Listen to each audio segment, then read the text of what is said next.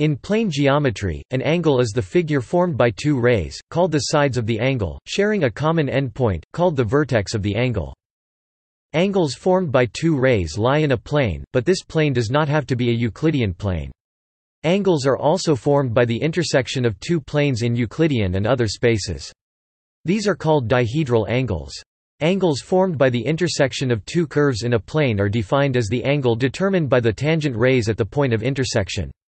Similar statements hold in space, for example, the spherical angle formed by two great circles on a sphere is the dihedral angle between the planes determined by the great circles.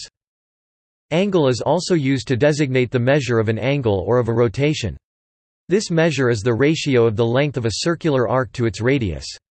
In the case of a geometric angle, the arc is centered at the vertex and delimited by the sides.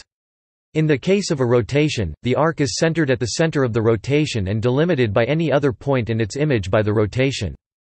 The word angle comes from the Latin word angulus, meaning corner.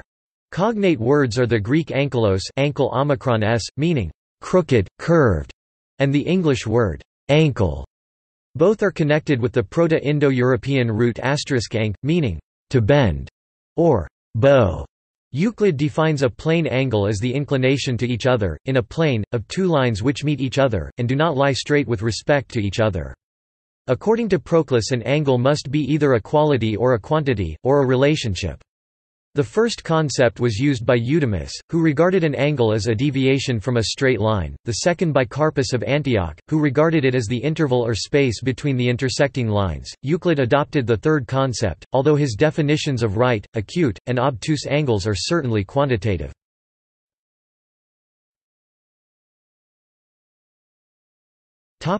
Identifying angles In mathematical expressions, it is common to use Greek letters alpha, beta, gamma, theta, phi, to serve as variables standing for the size of some angle, to avoid confusion with its other meaning. The symbol pi is typically not used for this purpose. Lower-case Roman letters a, b, c are also used, as are upper-case Roman letters in the context of polygons. See the figures in this article for examples. In geometric figures, angles may also be identified by the labels attached to the three points that define them.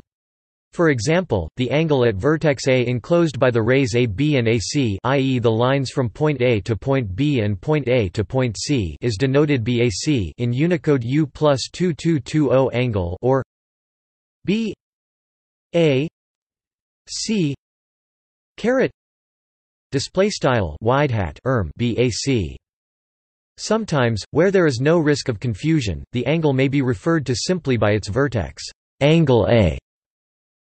Potentially, an angle denoted, say, BAC might refer to any of four angles, the clockwise angle from B to C, the anticlockwise angle from B to C, the clockwise angle from C to B, or the anticlockwise angle from C to B, where the direction in which the angle is measured determines its sign see positive and negative angles. However, in many geometrical situations it is obvious from context that the positive angle less than or equal to 180 degrees is meant, and no ambiguity arises. Otherwise, a convention may be adopted so that BAC always refers to the anticlockwise positive angle from B to C, and CAB to the anticlockwise positive angle from C to B.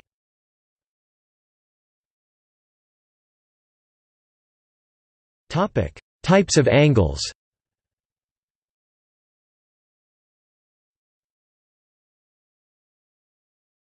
Topic: Individual angles. An angle equal to 0 degrees or not turned is called a zero angle. Angles smaller than a right angle less than 90 degrees are called acute angles. Acute meaning sharp. An angle equal to 1 quarter turn 90 degrees or pi 2 radians is called a right angle. Two lines that form a right angle are said to be normal, orthogonal, or perpendicular. Angles larger than a right angle and smaller than a straight angle between 90 degrees and 180 degrees are called obtuse angles. Obtuse meaning blunt. An angle equal to one half turn 180 degrees or pi radians is called a straight angle. Angles larger than a straight angle but less than one turn between 180 degrees and 360 degrees are called reflex angles. An angle equal to one turn 360 degrees or 2 pi radians is called a full angle, complete angle, round angle or a paragon. Angles that are not right angles or a multiple of a right angle are called oblique angles. The names, intervals, and measured units are shown in a table below.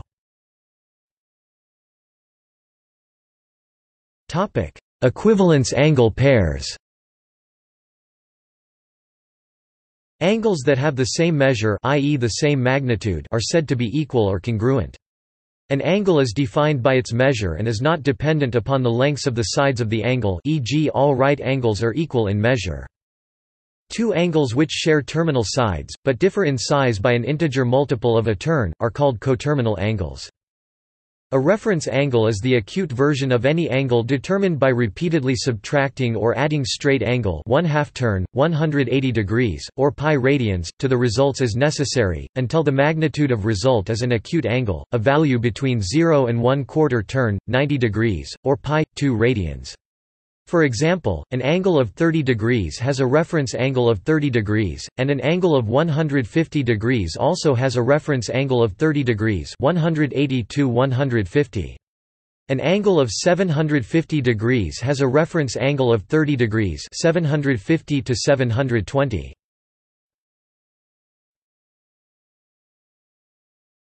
Topic: Vertical and adjacent angle pairs. When two straight lines intersect at a point, four angles are formed. Pairwise these angles are named according to their location relative to each other. A pair of angles opposite each other, formed by two intersecting straight lines that form an X-like shape, are called vertical angles or opposite angles or vertically opposite angles. They are abbreviated as vert. OPP, S. The equality of vertically opposite angles is called the vertical angle theorem. Eudemus of Rhodes attributed the proof to Thales of Miletus. The proposition showed that since both of a pair of vertical angles are supplementary to both of the adjacent angles, the vertical angles are equal in measure. According to a historical note, when Thales visited Egypt, he observed that whenever the Egyptians drew two intersecting lines, they would measure the vertical angles to make sure that they were equal. Thales concluded that one could prove that all vertical angles are equal if one accepted some general notions such as, all straight angles are equal, equals added to equals are equal, and equals subtracted from equals are equal. In the figure, assume the measure of angle A. X. When two adjacent angles form a straight line, they are supplementary. Therefore, the measure of angle C 180 minus x. Similarly, the measure of angle d equals 180 minus x. Both angle C and angle D have measures equal to 180 minus x and are congruent. Since angle B is supplementary to both angles C and D, either of these angle measures may be used to determine the measure of angle B. Using the measure of either angle C or angle D we find the measure of angle B equals 180 minus 180 minus x. Topic 180 minus 180 plus x x. Therefore, both angle A and angle B have measures equal to x and are equal in measure. Adjacent angles, often abbreviated as ADJ. S, are angles that share a common vertex and edge but do not share any interior points. In other words, they are angles that are side by side, or adjacent, sharing an arm Adjacent angles which sum to a right angle, straight angle or full angle are special and are respectively called complementary, supplementary and explementary angles see combine angle pairs. Below, a transversal is a line that intersects a pair of often parallel lines and is associated with alternate interior angles, corresponding angles, interior angles, and exterior angles.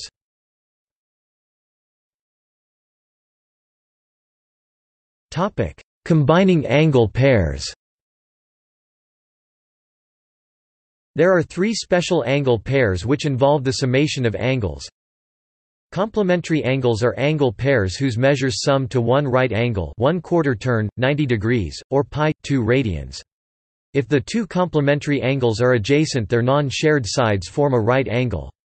In Euclidean geometry, the two acute angles in a right triangle are complementary, because the sum of internal angles of a triangle is 180 degrees, and the right angle itself accounts for 90 degrees. The adjective complementary is from Latin complementum, associated with the verb complere, to fill up. An acute angle is filled up by its complement to form a right angle. The difference between an angle and a right angle is termed the complement of the angle. If angles A and B are complementary, the following relationships hold: sin 2a plus sin 2b equals 1 cos 2a plus cos 2b equals 1 tan a equals cot b sec a equals cscb. Display style begin aligned and sin caret 2 a plus sin caret 2 b equals 1 and and cos caret 2 a plus cos caret 2 b equals 1 3 pt and tan a equals cot b and and sec a equals cscb end aligned the tangent of an angle equals the cotangent of its complement and its secant equals the cosecant of its complement. The prefix co in the names of some trigonometric ratios refers to the word complementary. Two angles that sum to a straight angle 1 half turn, 180 degrees, or pi radians are called supplementary angles, if the two supplementary angles are adjacent i.e. have a common vertex and share just one side, their non-shared sides form a straight line. Such angles are called a linear pair of angles. However, supplementary angles do not have to be on the same line, and can be separated in space. For example, adjacent angles of a parallelogram are supplementary, and opposite angles of a cyclic quadrilateral one whose vertices all fall on a single circle are supplementary.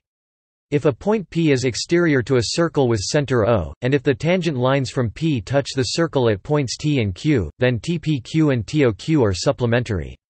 The signs of supplementary angles are equal. Their cosines and tangents unless undefined are equal in magnitude but have opposite signs. In Euclidean geometry, any sum of two angles in a triangle is supplementary to the third, because the sum of internal angles of a triangle is a straight angle. Two angles that sum to a complete angle one turn, 360 degrees, or 2 pi radians are called explementary angles or conjugate angles. The difference between an angle and a complete angle is termed the explement of the angle or conjugate of an angle.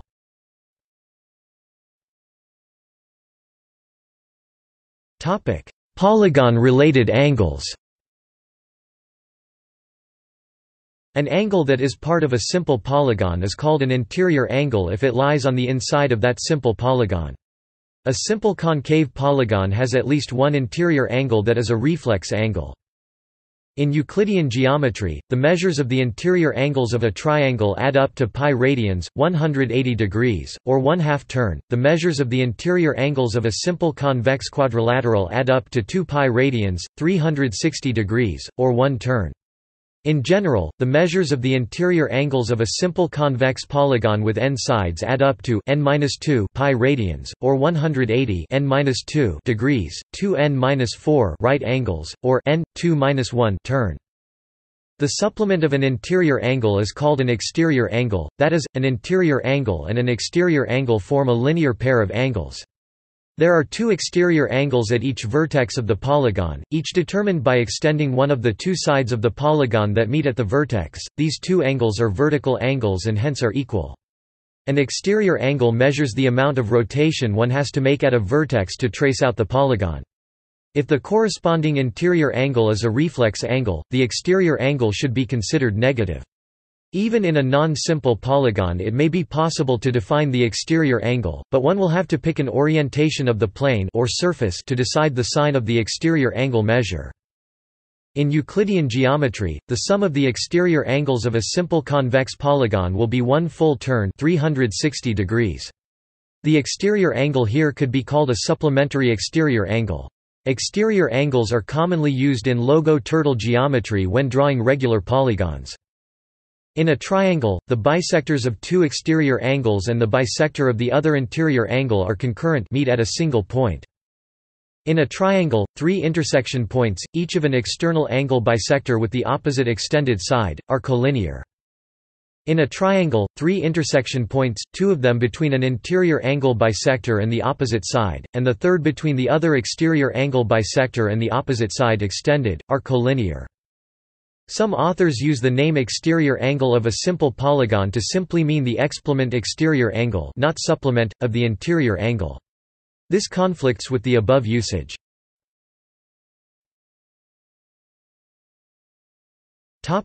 Plane-related angles The angle between two planes such as two adjacent faces of a polyhedron is called a dihedral angle. It may be defined as the acute angle between two lines normal to the planes. The angle between a plane and an intersecting straight line is equal to 90 degrees minus the angle between the intersecting line and the line that goes through the point of intersection and is normal to the plane.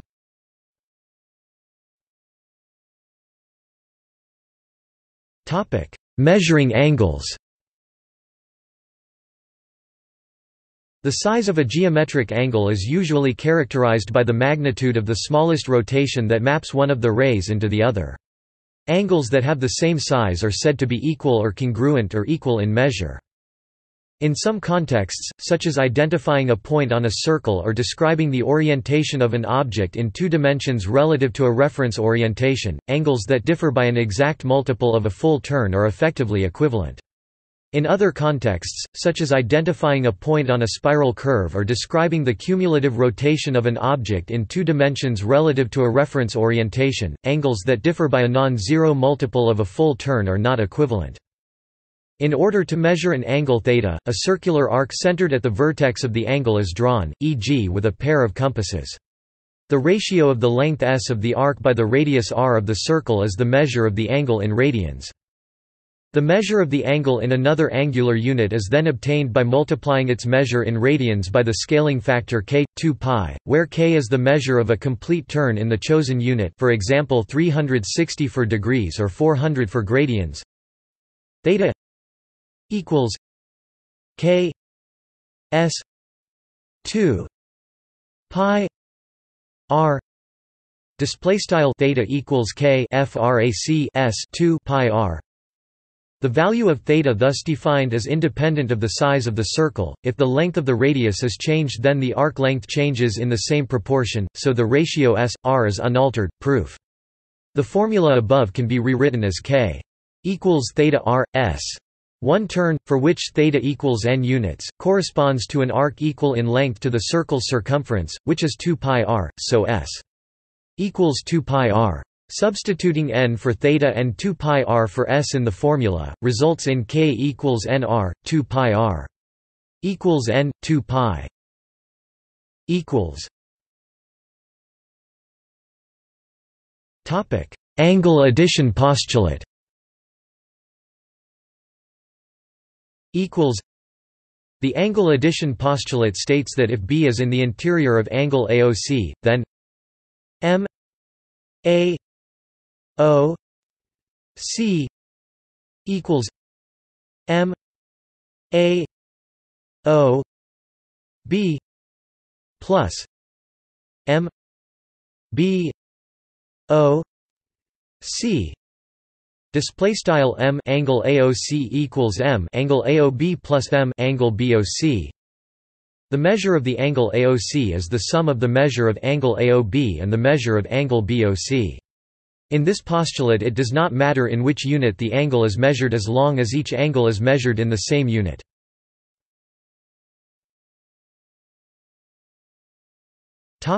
Units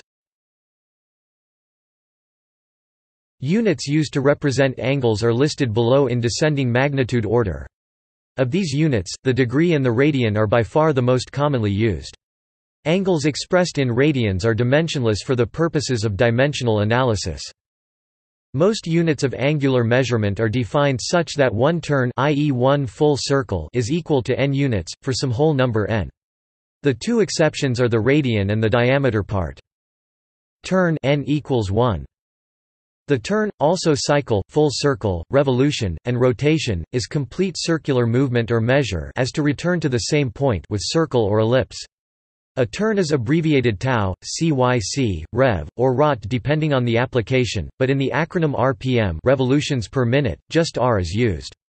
A turn of n units is obtained by setting k. Topic 1 half pi in the formula above. The equivalence of one turn is 360 degrees, 2 pi rad, 400 grad, and 4 right angles. The symbol tau can also be used as a mathematical constant to represent 2 pi radians. Used in this way k tau 2 pi allows for radians to be expressed as a fraction of a turn. For example, half a turn is tau 2. Topic pi quadrant n 4 The quadrant is one quarter of a turn, i.e. a right angle. It is the unit used in Euclid's Elements, 1 quad.